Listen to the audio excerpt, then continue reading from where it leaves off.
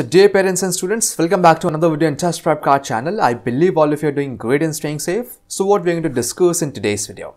Today we are going to discuss about one of the famous university in Maharashtra. Yes, we are going to discuss about University of Mumbai in this video which is popularly known as Bombay University sometimes. So those students who are targeting colleges in Mumbai should definitely watch this video. This video is going to be really informative. Alright, without wasting much time, let's start. Now, let me just tell you what are the topics that we are going to cover in the next 10 minutes. We are going to start with discussing about the highlights of Bombay or Mumbai University. Okay. Then we'll discuss about the courses offered by Bombay University. We'll discuss about the admission process in this university. What is the selection process? What is the admission process? Particularly, we're going to discuss in UG, PG and doctoral programs. Then what are the cutoffs? Essentially various colleges under university. So what are those cutoffs? We're going to discuss what is the reservation policy, what is the scholarship opportunities and what is the placement scenario in this university. Again, after this point of time, if you still have any doubts, any queries, feel free to write in the comment section below. Just ask, we will be there okay? Let's start. Let's start by discussing about the highlights of this university. So it's a state university means that it is a state funded university. Established in the year 1857 so 163 year old university. Yes. There are total of 781 affiliated college under university. 781 can you think of the number? 781 that's a great number. Yes. Location is Mumbai. The ranking is 65 by NIRF 2020 and 74 by Outlook 2020. The approval is from UGC, NAAC and AIU. It's a co-ed college. The courses which this university offers ranges from UG to PG to doctoral programs plus diploma and certification courses. It offers full-time, part-time and distance learning programs. The accepted entrance test in this university is JEE Mains, NEET, MHT CET, NATA, JEE Main Paper, MAH, MMS CET, MAH CET, GATE, NET, SET, GPAT, UGC, NET, CSIR, SET. Almost all the major entrance exam, I mean that is conducted in India, this university accepts. The mode of application is online and the popular recruiters is IDBI, HDFC, Deloitte, CRISIL. I will discuss about this part in the coming slides. Don't worry. The official website is mu.ac.in. So this is just the major highlights of University of Mumbai. Now let's discuss about the courses which this university offers. So let me tell you, this university offers more than 2000 courses. So it is not feasible to cover all those courses in this short video. So I'm just telling you the major departments through which these courses are being offered. So this is from arts, mass communication, education, medical, management, engineering, law, science, vocational courses, commerce, computer applications, hotel management, aviation, agriculture, architecture, paramedical, pharmacy, design, animation, veterinary science. So almost all the courses, just name the course and you'll find it here. Yes. So Mumbai University offers over 2000 UG, PG, diploma, doctoral and certification programs in various fields such as engineering, arts, science, management, accounting, law, library, fine arts, performance and much more. Right. So it will be great if you just visit the site and you'll have much information about the courses which this university offers. Now let's discuss about the admission process. So Mumbai University application processes are generally out in the last week of May. So yeah, there is time. You can just check the site. So in that point of time, they just release the application form in their official website, which is mu.ac.in. Candidates seeking admission to Mumbai University for various UG and PG programs must fill the application form followed by pre-enrollment form online. So just do the normal process like you do for the other colleges. Right? For access to the login window of Mumbai University application form 2020 candidates are required to register for yes the normal process thing yeah the first thing you have to do the registration post that you will have login ID credential then just log in through that login ID credential fill the application form upload all the necessary documents and you are done. So this is just a brief about admission process which is for the UG and PG the similar fashions follows in certification programs, distance learning and PhD. Now let's discuss about the selection process. So in here I'm going to discuss in detail. Let's start with discussing about the UG courses.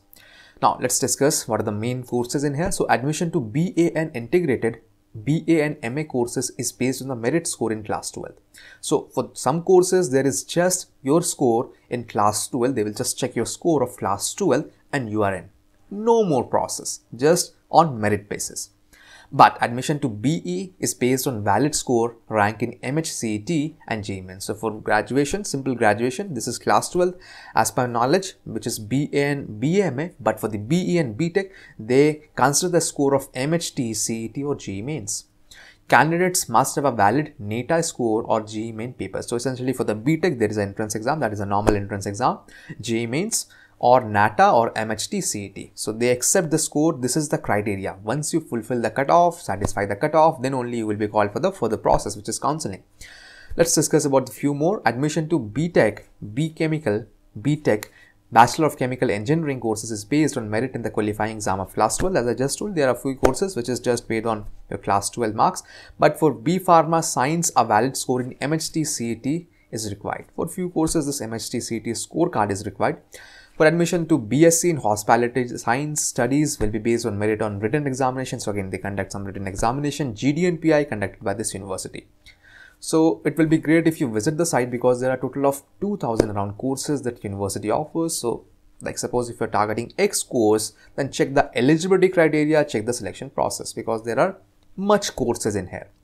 Now let's skip the CUG course and let's move on to discuss about the PG courses. So admission to MA General or MA in Archaeology or Numismatics and a few other specialization is based on university conducted entrance exam. So for MA and related courses there is an entrance exam. You just need to qualify that entrance exam then only you will be called for the further process. Final selection to MLI Science, MSW, MLS, MED, MPED, Education MED in Hearing Impairment, MPED, MSc Science is based on merit score in the last qualifying degree which is UG level. This means that for few courses they will consider your graduation scorecard. But for few courses, they will consider, I mean, they will just ask you to give the university entrance exam. For few courses, there will be definitely GD or PI or small tests that you need to pass on. So as to get admission, there are a few courses. Let me just talk about uh, MTech, right? MTech is a great course. So ME admission to MU is based on valid gate. So for the MTech gate score is, of course, they will consider your gate score or NET or SET. So this exam score are accepted for MTech. So this is just a brief about PG. Let's move on and discuss. But before that, let me just announce a very important part here. This is for the NRI students. So for the NRI students, we have prepared an NRI ebook that is related to DASNCIWG. You can download it from the link in the description below. So we have a compiled set of NRI ebooks that will really help the NRI's guys to prepare well finally for the D-Day. Okay. Now let's discuss about the selection process in the doctoral program. So in the doctoral program or postdoctoral courses, candidates seeking admission to PhD are either required to appear for aptitude test conducted by the, I mean this for the admission department or your scorecard, your UGC net scorecard, set, gate or JRF examination of apex body under CSIR, UGC or ICR will also be acknowledged. For MPhil, admission is based on merit score in the last qualifying degree exam that is on PG. So they will consider your post-graduation mark sheet, whatever you, you have I mean scored in your post-graduation. Through that, you will be given admission in MPhil, right? Again, they offer many courses and there are many other specializations too will be great if you just visit the site, check your desired course and specialization. Okay. Now let's move on and discuss about the cutoff. So as I just told, there are total of 2000 plus courses that this university offers. So it is not feasible to cover all the cutoffs of those courses, right? So I've provided you few links. This will be really helpful. Visit www.university.careers360.com slash article slash Mumbai University cutoff hashtag Mumbai University cutoff 2019 first round. So there are first round, second round, third round, even in this link only, if you just type 2020, you will have the cutoff of 2020. Again, visit another site which is www.cutoffs.aglasem.com slash 157531. There is one more www.teachaseducation.com, Mumbai University, Commerce, FYBMS. So this is I think for the course particularly FYBMS again if you just put your desired course provided the name is correct you will be directly open to the cutoff page. So this is just the brief about the cutoffs. Let's discuss about the reservation policy. So in the reservation, it says that now this is little different. Why this is little different? Because this is a state university, right? Central University is under MHRD. So MHRD rules, regulations is very clear, right? For the state, it varies. It changes from state to state. For this state, I mean for the Maharashtra, the Mumbai University reservation is such that for the SC candidates, that is scheduled caste, 13% of the total seats reserved for SC. For the ST, this is 7%. For the OBC, this is 19%. You remember for the MHRD, if you talk about some central university or uh, college or university which is falling under MHRD, there was 27% for the OBC. This is 19% in here. For DTA, this is 3% for NTB, this is 2.5% for NTC, this is 3.5% for NTD, this is 2%. Visit the site www.coep.org.in slash page slash assets 558 information brochure.pdf again you will be open to the reservation policy. What is the reservation policy in this university? This will really help the nris guys to also check on what is their reservation policy for nris ciwgc pios right? All right let's discuss about the other aspect of this university which is the scholarship. So mumbai university scholarship options are again they offers ample scholarship opportunities like the lotus foundation scholarship or syndicate bank golden jubilee scholarship dr alzira rogers Bogus Scholarship, the late Rao Shahib Vishwanath Narayan Mandlik Prize, the late Sri V.S. Gore Memorial Scholarship, the Sant Kumar Bijoria Scholarship. There are much scholarship options in here, but again, as there are total of around 700 plus colleges in this university so many of the colleges may have low fees many of the colleges may have chances that may have that high fees so in that particular college just check the ratio of the scholarship right like suppose the fee for let's say if you're doing an MBA and let's say the fees is 20 lakh rupees. Let's assume a case.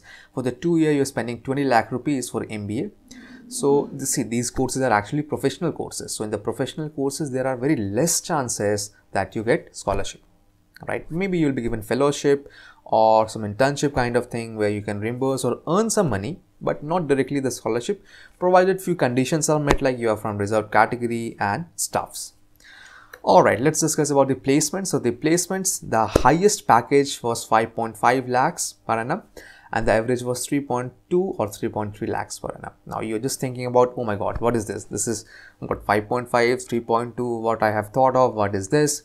This is because of a very simple reason. I'll just tell you. This university has more than 700 colleges right? 700 college let's take an average of 1000 student per college. That means how many students will be there? 1000 times 700 that brings us to 7 lakh student.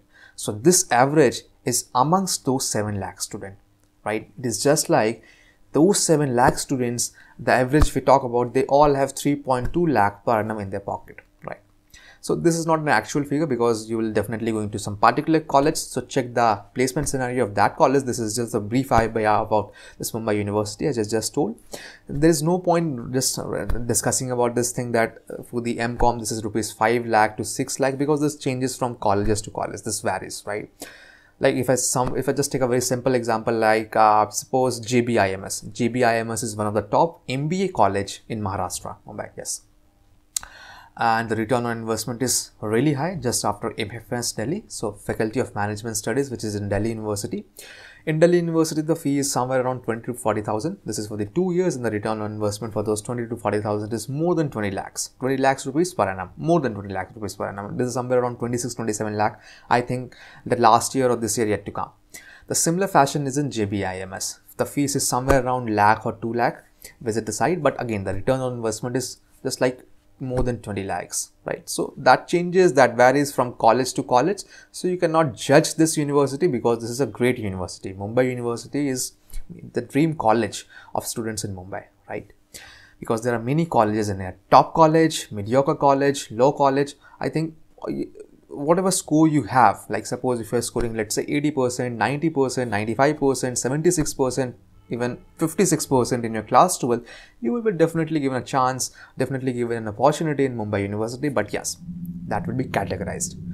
Um, like college to college, if you have 95% above, you will be in a very top college. If this is like 80 to 90% low to that college, 60% little lower, right? So this is about the college thing. 781 colleges.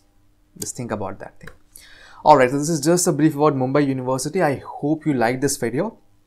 Again, if you have any questions, any queries, any cures regarding admission, then please ask in the comment section below. This is all for this video. I hope you enjoyed. See you in the coming videos. Thank you.